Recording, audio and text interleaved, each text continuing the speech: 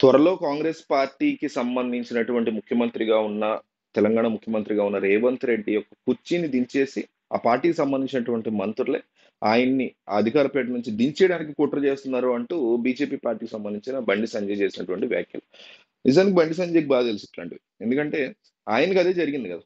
గతంలో ఎలక్షన్ ముందు ఒక వన్ ఇయర్ ముందు తీసుకుంటే రెండు వేల ఇరవై రెండు ఇరవై ఒకటి తర్వాత కూడా మొత్తం మీకు బీజేపీకి సంబంధించినటువంటి తెలంగాణ పార్టీకి సంబంధ తెలంగాణ బీజేపీకి సంబంధించినటువంటి ముఖ్య నాయకులు అందరూ కూడా బండి సంజయ్ తన పదవి నుంచి అంటే బీజేపీ పార్టీ రాష్ట్ర అధ్యక్షుడిగా దిగిపోయే వరకు నిద్ర కూడా పోకుండా ఢిల్లీ వెళ్ళి చాలా రకాల పావులు కలుపుతూ వచ్చారు.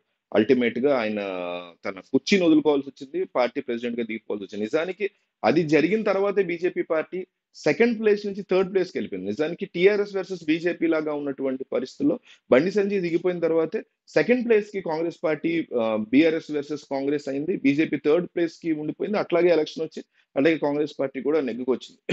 ఇట్లాంటి విషయాలు నిజంగా బండి సంజయ్కి డెఫినెట్లీ ఆయనకి సెల్ఫ్ ఎక్స్పీరియన్స్ అనే చెప్పుకోవచ్చు.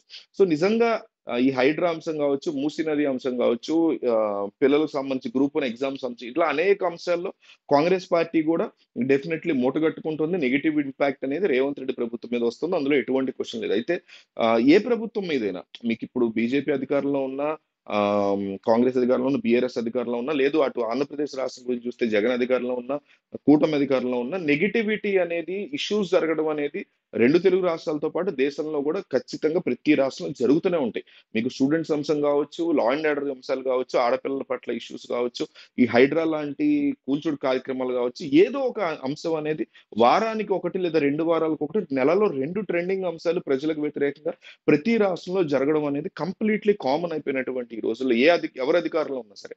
దానికి ఎట్లాంటి కాన్ఫరంటేషన్ ఉంది ప్రభుత్వం వైపు నుంచి? ప్రభుత్వం దాన్ని ఎట్లా డీల్ చేస్తుంది? ప్రజల నుంచి వచ్చినటువంటి వ్యతిరేకత ప్రతిపక్ష ప్రతిపక్షాల నుంచి వచ్చినటువంటి వ్యతిరేకని కలిపేసి డీల్ చేయకూడదు. ఇక్కడ రేవంత్ రెడ్డి చేస్తున్నటువంటి ముఖ్యమైనటువంటి తప్పు ఏంటంటే ఆయన ప్రజల నుంచి వస్తున్నటువంటి వ్యతిరేకతని ప్రతిపక్షాలే చేస్తున్నాయి. ప్రతిపక్షాలు ఇవన్నీ చూపిస్తున్నాయి. నిజానికి ఇది కాదు. ఇది మేము ప్రజల కోసం చేస్తున్నాం అంటూ తెర మీదకి ఈ అంశాలను తీసుకొచ్చి అంటే ప్రతిపక్షాలని కంప్లీట్గా టార్గెట్ చేస్తూ ఇదంతా ప్రతిపక్షాల కుట్ర అని ప్రజల్ని కన్విన్స్ చేసేటువంటి కార్యక్రమం చేస్తున్నారు. ఇది బిగ్గెస్ట్ బిగ్గెస్ట్ నెగిటివ్ ఇంపాక్ట్ని క్రియేట్ చేస్తుంది రేవంత్ రెడ్డి ప్రభుత్వం పట్ల. అందులో ఎటువంటి సందేహం లేదు. నిజానికి కాంగ్రెస్ పార్టీ లాంటి బీజేపీ లాంటి జాతీయ పార్టీలు ఎప్పుడైతే ఉంటాయో వాటిల్లో ఖచ్చితంగా అధికారంలో అంటే ఆల్రెడీ సీఎం స్థానంలో ఉన్నటువంటి వ్యక్తిని దించి తమని సీఎంగా చేసుకున్నటువంటి అడుగులు వేసేటువంటివి బీజేపీ లాంటి నేషనల్ పార్టీస్లో ఎందుకంటే లోకల్ పార్టీస్లో కూడా జరుగుతాయి. కానీ ఎందుకు జరగవంటే ఇక్కడ అంతా కూడా ఈ పేట్రియాటికల్ లేకపోతే ఈ వారసత్వ నెపోటిజం నడుస్తూ ఉంటుంది కాబట్టి ఇప్పుడు చంద్రబాబు నాయుడు పార్టీలో రామారావు తర్వాత వచ్చిన చంద్రబాబు కాబట్టి ఆ తర్వాత నారా లోకేష్ కాబట్టి ఆయన ప్రత్యేకంగా తండ్రి మీద ఎటువంటి కుట్ర చేయాల్సినటువంటి అవసరం ఉండదు. చాలా రేరెస్ట్ కేసెస్లో జరుగుతుంటాయేమో కానీ అవసరం ఉండదు. టీఆర్ఎస్లో కూడా కేసీఆర్ తర్వాత కేటీఆర్ ఆల్రెడీ ఫిక్స్ అయ్యారు కాబట్టి చేయరు. ఈ లోకల్ ప్రాంతీయ పార్టీల విషయానికి వచ్చేసరికి వాళ్ళ మెంటాలిటీస్ అవే అయినా కూడా ఆ రకమైనటువంటి అవసరాన్ని ఆ పార్టీ హైకమాండ్స్ తీసుకురావు. ఆ పార్టీకి పెద్దగా ఉన్నవారు తీసుకురారు. కానీ కాంగ్రెస్ కానీ బీజేపీ లాంటి ప్లేస్లో ఏంటంటే ఇప్పుడు ఉదాహరణకి బండి సంజయ్ ముఖ్యమంత్రిగా అయ్యి ఉంటే రాష్ట్రంలో ఇట్లాంటి సిచ్యువేషన్ నడుస్తుంటే పక్కన ఉన్నటువంటి మంత్రులు ఖచ్చితంగా ఆ ప్రాంత ఆ ప్లేస్ని లాక్కోవడానికి ప్రయత్నాలు చేస్తారు. ఎందుకంటే ఆయన అధ్యక్షుడుగా అధ్యక్షుడిగా ఉన్నప్పుడే ఎన్నో ప్రయత్నాలు చేశారు. అట్లాంటిది ఇప్పుడు ఎందుకు చేయరు? సో రేవంత్ రెడ్డి బీజే టీడీపీ పార్టీ నుంచి వచ్చి ఇక్కడ సీఎం అయ్యారు కాబట్టి ఆయన స్థానాన్ని దొంగలించడం కోసం ఎంతో మంది ప్రయత్నాలు చేస్తారు. అందులో ఎటువంటి క్వశ్చన్ లేదు. ఆ ప్లేస్లో ఎవరున్నా సరే చేస్తారు. ఆ విషయం తెలియనంత అమాయకులు కాదు రేవంత్ రెడ్డి అమాయకులు కాదు బండి సంజయ్ కూడా అంత అమాయకుడు ఏం కాదు. సో ఈ ఈ నేపథ్యంలో ఇక్కడ కీలక పాత్ర పోషించేది ప్రజలు అనే విషయాన్ని రేవంత్ రెడ్డి కానీ ఆ ప్లేస్లో ఉంటే బండి సంజయ్ కావచ్చు కేసీఆర్ కావచ్చు ఎవరైనా గుర్తుపెట్టుకోండి. ఎందుకంటే గతంలో కేసీఆర్ కూడా మీకు జూనియర్ డాక్టర్లకు సంబంధించినటువంటి సమ్మెలు జరుగుతున్నప్పుడు ఒక కాంప్రమైజ్ అట్మాస్ఫియర్ని క్రియేట్ చేయకుండా అక్కడ కూడా ప్రతిపక్షాలు రాద్ధాంతం చేస్తున్నాయి అన్నట్టు వేలెత్తి చూపించారు. ఆ తర్వాత పరిణామాలు ఎట్లా ఉన్నాయి ఎట్లా వాళ్ళు ఓడిపోయారు అనేది మనకు కనిపించింది.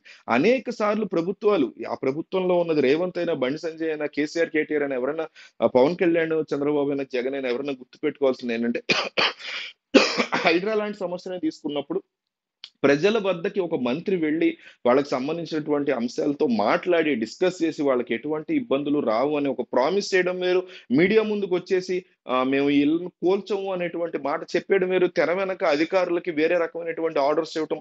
ఒక పక్క పక్క గల్లీలోనో లేకపోతే పక్క సందులోనో లేకపోతే మీడియాలో చూస్తున్న చోట ఇదే ఊళ్ళో ఏదో ఊళ్ళో ఇదే ఊళ్ళో వేరే ప్రాంతంలో ఆల్రెడీ కూలుస్తుంది హైడ్రా.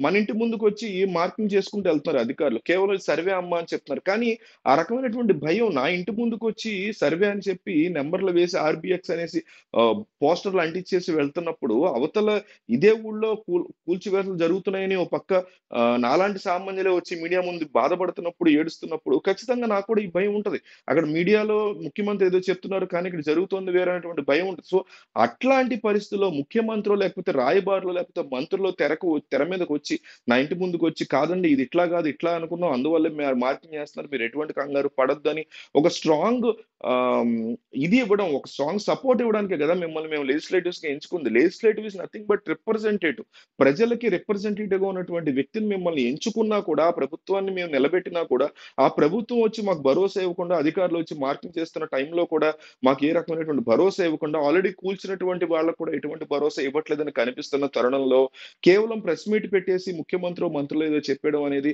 ఖచ్చితంగా ప్రభుత్వాల యొక్క ఫెయిల్యూర్ అవుతుంది ఆ ప్లేస్లో ఎవరిదున్నా. సో ఆ దిశగా నెగిటివ్ ఇంపాక్ట్ అయితే ఖచ్చితంగా ఫామ్ అవుతోంది రేవంత్ రెడ్డి ప్రభుత్వం మీద. అట్లాంటి ప్రభుత్వం ఫామ్ అవుతున్నప్పుడు ఆ ప్లేస్లో ఎవరున్నా సరే ఆ ముఖ్యమంత్రి పీఠాన్ని లాక్కోవడానికి కుట్ర చేస్తారంటంలో ఎటువంటి సందేహం లేదు. అది రేవంత్ రెడ్డి మీద కావచ్చు బండి సంజయ్ మీద కావచ్చు కేసీఆర్ మీద కావచ్చు. జాతీయ పార్టీ కాబట్టి ఇంకా ఎక్కువ భారీ ఎత్తున ఆ స్థానాన్ని లాక్కునేటువంటి అవకాశాలు ఎక్కువ ఉంటాయి అంటే సందేహం లేదు. కుట్ర ఖచ్చితంగా జరుగుతుంది జరిగే అవకాశం అయితే ఉంటుంది. ఆ కుట్రకి జరగటానికి ముఖ్యమైనటువంటి కారణం ఈయనే రేవంత్ రెడ్డి సెల్ఫ్ గోల్ వేసుకునేటువంటి పరిస్థితులు కనిపిస్తున్నాయి అనేది కూడా మనకు అర్థమవుతుంది.